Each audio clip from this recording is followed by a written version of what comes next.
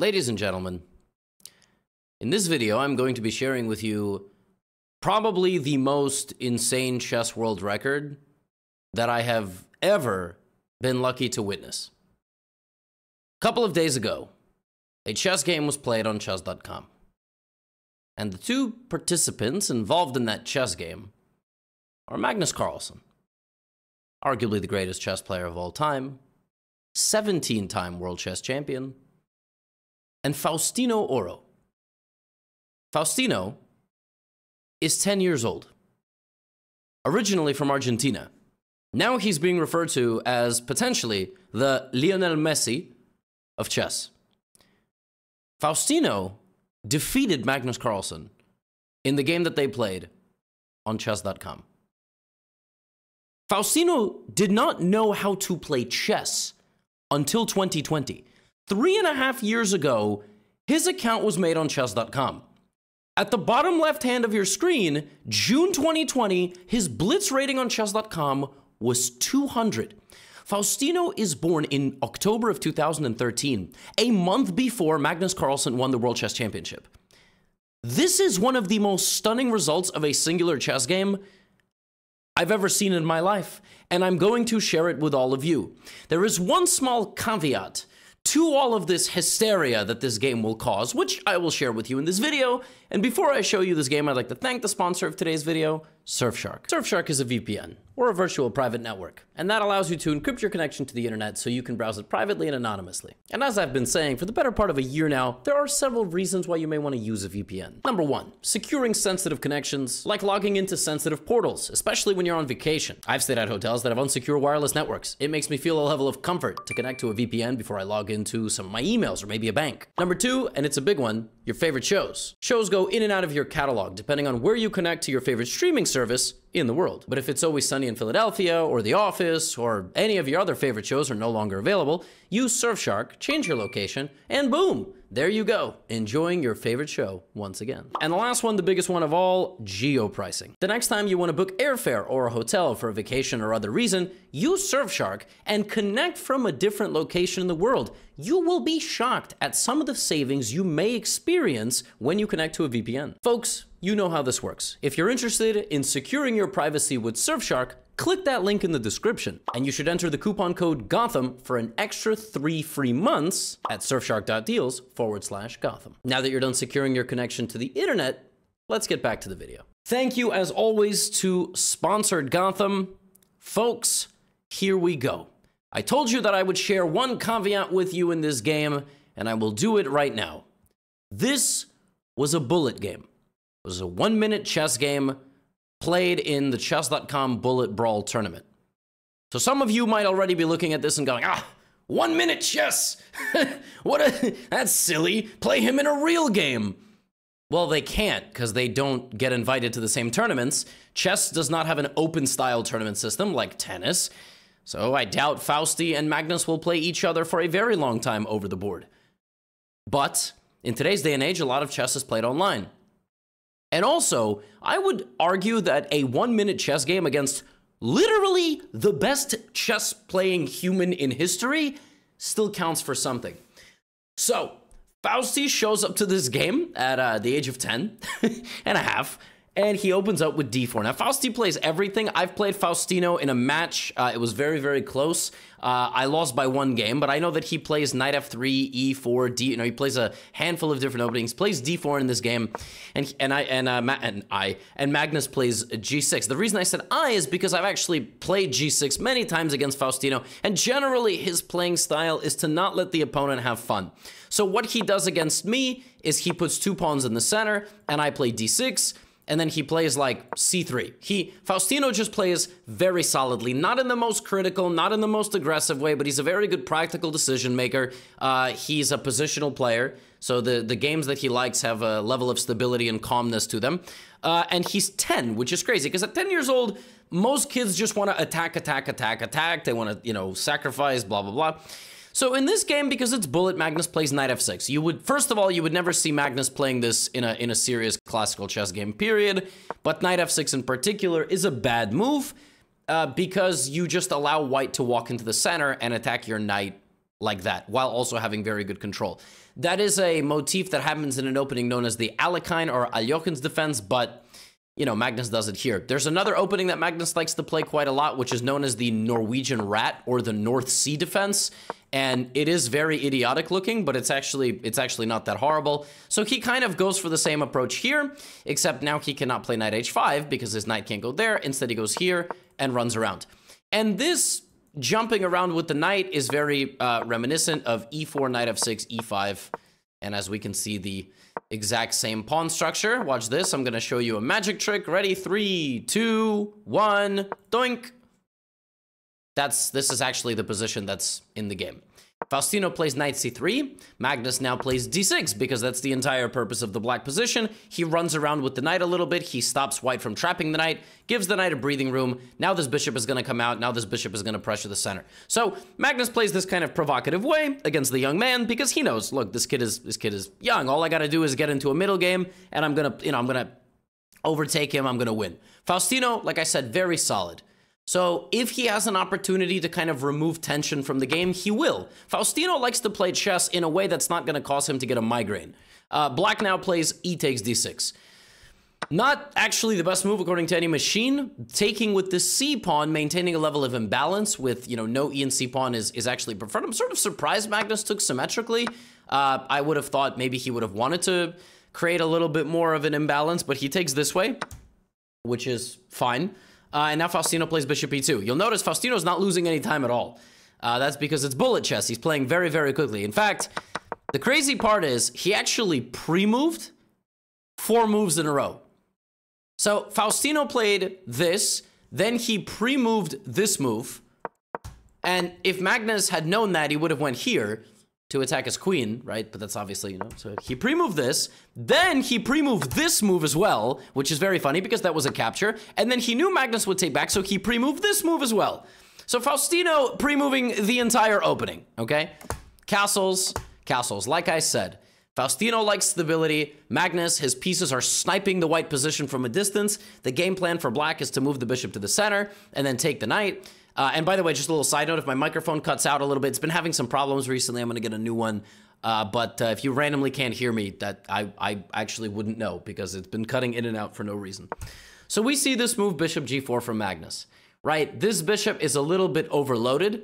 It's defending two different things, but you can't really take here because then you will just get your piece trapped in the corner, okay? So bishop g4. White can do a lot of things here. White can play bishop e3, bishop f4, bishop g5, rook e1. You can play for h3, you can play b3. And Faustino very, very solid. He's just going to play b3. He's just making sure everything in the position is protected. This now loses a little bit of stability, but black is never really successfully going to play c5 uh, because then white will play bishop e3 and rook c1 and just finish up his development. So Magnus has gotten all his pieces out. So how's Faustino? Both guys have developed their armies. Now what? Right? Black can play d5. Black can play rook e8 to activate yet, oh, activate yet another piece.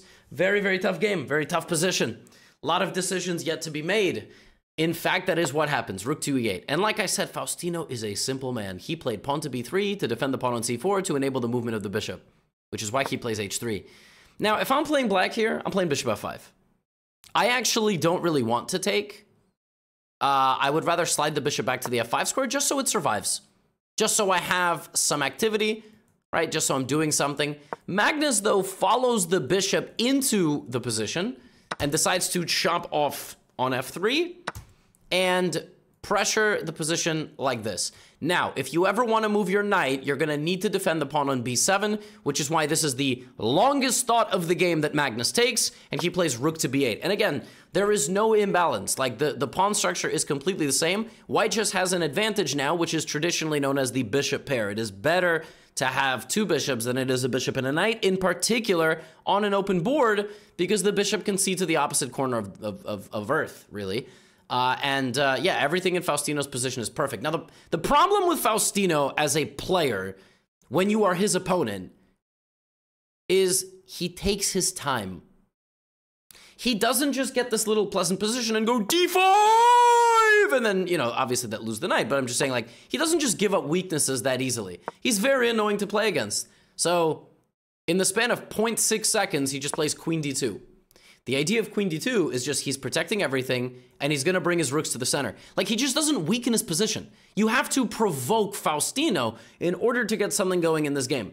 Magnus was ready. That's why he took on f3 right? That's why he played rook b8. He's now going to wrap the knight to the f5 square, and that is exactly what he does. Now, again, this type of play by Faustino is not necessarily always the best, but it is very, very solid and very annoying. Like right now, it very well could be the best move could be to go g4. You know, it, it I don't think it is, but a move like g4 is not even half bad. In fact, it's one of the best moves in the position. Now black has to play d5. If black doesn't, black is going to be much worse.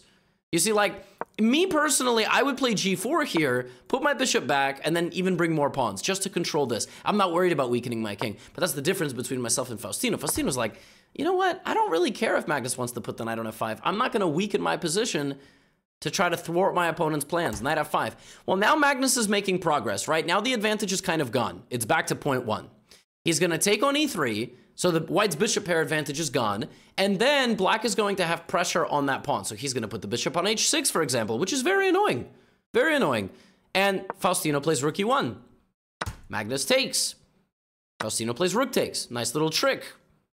Right? He takes with the rook because the alternative was to take with the pawn and then potentially risk just having this annoying situation over here, and then here comes Magnus on the dark squares, and again, it's just about controlling your opponent's imbalances. So Faustino sets a mini trap. Mini.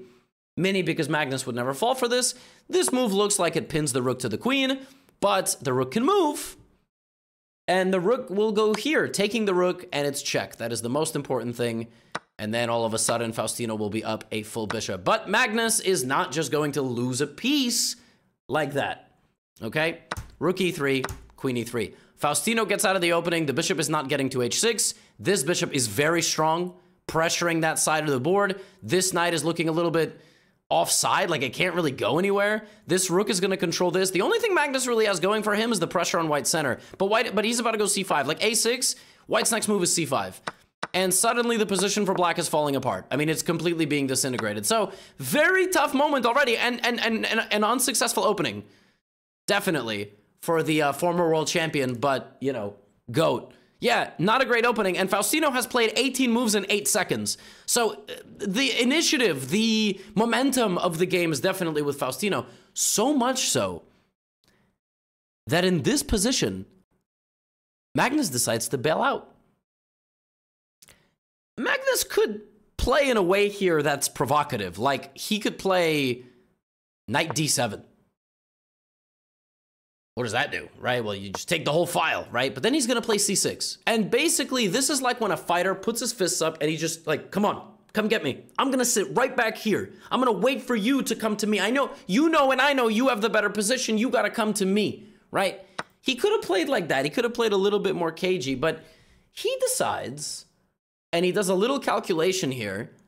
He forces the issue. Queen e8. That's a massive decision because the queens are coming off the board, but more importantly, that rook has to guard that pawn. So Magnus already admitting that Faustino has a better position and he is fine losing the pawn on b7 to potentially create some counterplay with the move c5. Here's the problem, okay? Here's the problem with this plan, is that best case scenario, black will make a draw. Black is now just down a pawn in an endgame. He has six pawns, white has seven. Now, if everything gets traded here, like let's, um, again, this is not what's to happen, but let's just say the rooks come off, right? The rooks get traded, okay? And then in a couple of moves, some other stuff gets traded, all right? Like, you know, black can take on d4, but then we have knight b5. Like, what's going to happen in this game is if the bishops go on the opposite color, it's going to be a draw. So this is a draw. Look how quickly it went down to zeros. So it's about keeping material on the board. And Max doesn't have to do this, but Faustino is like, wait a minute, c5. Uh, that's hanging and that's hanging. Knight b5. I couldn't take, and suddenly black is much worse. So all of a sudden, the best chess player of all time is in a situation where a split second decision to force the issue in the game leaves him with a very unpleasant endgame. He's not going to be playing this for a win. I mean, if he was playing me, he'd be playing it for a win. but he's not going to be playing it for a win. And if he takes on d4, all the pawns will fall. All of them. You're going to take on d6, and then it's very simple. We're going to advance this pawn until it becomes a queen. So he plays rook e7. He attacks the bishop on b7. Faustino, by the way, could take on d6 here to defend himself, but then you would get bishop d4 and some pressure, and the rook is coming down to e2. So even here, with a free pawn, completely free, Faustino says, no thank you. No thank you because he understands that black wants counterplay. So now Magnus plays a6. Magnus undermining the knight and the defense of the pawn. Magnus wants to land the bishop on that square to put pressure. Faustino takes on c5, puts the knight on d6, and we have rook to d7. It would have been slightly better for him to actually take on d6 and allow bishop d4. But this is a tough position to allow. This bishop is very strong. So instead of that, he tries to go for this. Still knight d6 is, uh, bishop d4 is playable. But okay, rook d7. Now what do you do?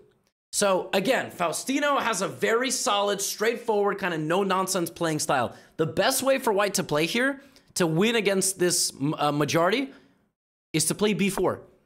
b4 undermines bishop d4, and if pawn takes, you push to c5.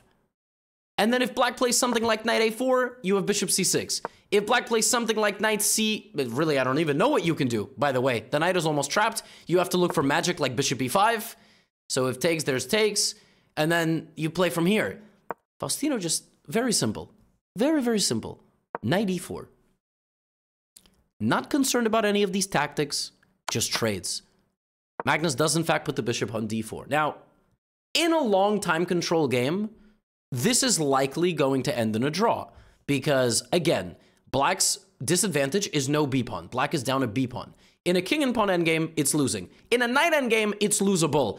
In an opposite colored bishop endgame, it's not losable. And if you don't understand why, opposite colored bishop endgames are notoriously very, very, very difficult to win, because if you do the math, at the end, the bishop could sacrifice itself for the remaining pawn and it would be a draw. Uh, and there, really, there's nothing, there's no way the bishops could interfere with each other. So this would probably be a draw. King f1, king e2, right? Faustino's gonna play though. I mean, it's a bullet game. What are you gonna do, offer a draw? No, never. King e7, he plays f4. Magnus plays f5. So these pawns are on the same color square as this bishop. If the bishop ever makes it over there, it's gonna be really bad news. It's gonna be like Big Bad Wolf blowing on the house. Knight f2, a5. Magnus creating a dark squared fortress with the pawns on c5 and a5. Faustino plays knight to d3 in a, in a perfect scenario, what will happen here for white? Absolutely best case is something like this, okay? Uh, king d2, let's just say, you know, black literally does nothing except shuffle. You would play something like king c2, knight b6, a3, knight c8, and you would try to play b4. And after you successfully play b4, you now have a 1 on 0, right? So now you're going to go over here, and you're going to try to push the pawn. But if you notice, it's, it's not looking particularly promising. That is the idea. King f3, knight e1. Both guys are shuffling, but Magnus completely just taking over, right? I mean, the knight gets into c3, he forces Faustino to make a pawn move. Yeah, that's it. Now this is white's extra pawn. It's this ugly duckling on b3. It's never going to go forward. There's no way to get to a5 or c5. Uh, yeah, it's just a draw. Knight to a2. Faustino plays g4. He's still trying. He's still trying. Magnus plays king f6. Smart move. Knight to d3. Knight to c3. Knight c1. And in this position, disaster strikes. Disaster strikes. Magnus just moved from a2. He just brought the knight from the a2 square. And I think what he was thinking to do here is to continue to shuffle. What Magnus should do in this position is probably just move the king back and forth. I guess he could also play bishop g1, bishop d4. But black can't do anything. There's no, there's nothing. Black just has to move back and forth. And black shouldn't take. There's no need to allow to, white have to have more space like this. But in the middle of bullet shuffling, Magnus plays knight a2. It's Bullet.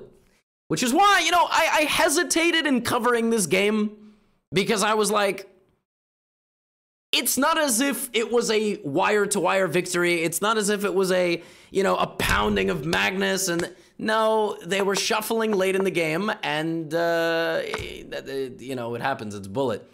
But I will say, just the ability to just completely stay toe to toe with Magnus and have zero chance of losing and be up a pawn at 10 years old? Very impressive. And yeah, it just, you know, I'm not saying the victory in and of itself was impressive. I think Faustino will be the first to tell you that. But at this point, Faustino was on stream. He was streaming this game and he was like, oh, if I lose this, if, I, if I can't win this game, uh, I should retire. And uh, yeah, retire at 10 years old, by the way. Uh, and now, just very simple, by the way. You have to extract this knight from the edge of the board. The only way to do that is to bring the king. He wins control of the dark squares. Knight c3, knight d5 check, king c2, he kicks out the bishop, and he just takes it. And um, that is by far the easiest. And now this bishop sees this pawn, so the king cannot actually leave the pawn. And uh, the way you would win this with white is you would play king d2, black would play king g6, king e2. Anytime king moves, you would take, so you would walk the king over here. Black would run out of moves, you would take this pawn, you would take, and then you would queen, and then you would win, which is why on the 48th move, Faustino Oro played king d2 and Magnus Carlsen resigned. Now, again, I'm going to tell you right now, even for the Argentinian fans who watch this, I think you can understand that there are more impressive ways to win a chess game than the opponent, you know, just play, playing really quickly and making a mistake like this. So some of you are going to be disappointed, okay? The chess purists are going to watch this and go, he didn't actually beat him. Play him in person. Play him in a five-minute game. Play him in a classical. Play him 10 more bullet games. See what happens. I understand. Yes, Magnus Carlsen is a better chess player than Faustino Oro. For now, we don't know what's going to happen with Fausti's career. I understand all of that. This doesn't make it any less impressive. Faustino had a fantastic opening. He played solidly. He played great. And he forced Magnus to make an uncomfortable decision, make a couple of inaccuracies, and he was at, in no danger of losing this game ever. And I will remind you, as I did with the full screen, the kid did not know how to play chess in 2020. He learned how to play chess in the middle of 2020. At the end of 2020, he was 1500. He is now a 2900 blitz rated player. He's in the top 0.0001% of chess players in the world on chess.com. He's 2300 over the board. Uh, he has won IM norm to become an international master. And he's, he's the youngest player ever in history to become a FIDE master and get an international master norm. And he just beat the GOAT. He learned chess three and a half years ago. He just beat the greatest chess player of all time. I don't even know what else to say. How's that? Get out of here.